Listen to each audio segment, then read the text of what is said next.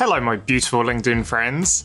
So, today I want to talk about something a little bit different, a little bit outside of what I normally do. I try to keep this vlog and the content I make positive, helpful, but I've come to a realization that needs to be spoken about. So, as part of my verbalize.science journey, I've been thinking about the act of communicating science, why scientists don't do it more often, and I've come to this realization that academia is fundamentally flawed. I've realized that, that academia suffers from terrible short termism. So, scientists are not rewarded for actually doing science.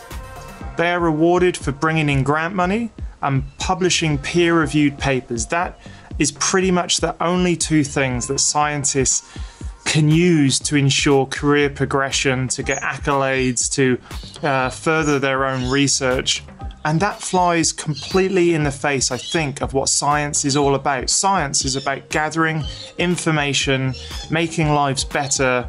And I really think that the university system and the systems in which scientists work are fundamentally corrupted at verbalize.science, we want to help scientists communicate, but the fact is they are not rewarded for communicating because the system creates short termism where scientists are not rewarded for the things that they actually want to do, which is science and communicate that science more broadly. But there needs to be a fundamental change in the way universities and other research organizations reward their scientists. And at Verbalize.science, I want to be part of that change. I want to make sure that scientists communicate because they they're not about hoarding information or being the first or or not collaborating because of the competition. It's it's kind of like an unspoken thing about science. We know it happens. People in science know it's happening.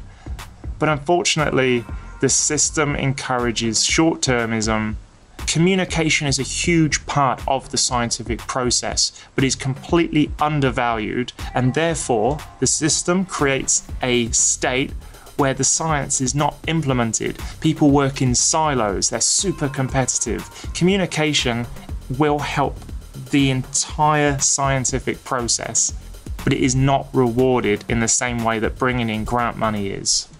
And I think until a fundamental systemic change of academia happens, we are going to be seeing an increase and a continuation of the distrust of science, of politicians completely ignoring science. This short term focus, this finite game that academia has become, I think has to change. All right, I'm going to sit here, eat the rest of my. Do you eat or drink a smoothie? if you work for or you are the head of an institution that wants to make an absolute impact and a change in the way science is fundamentally done in your institution, let me know because I want to work with you.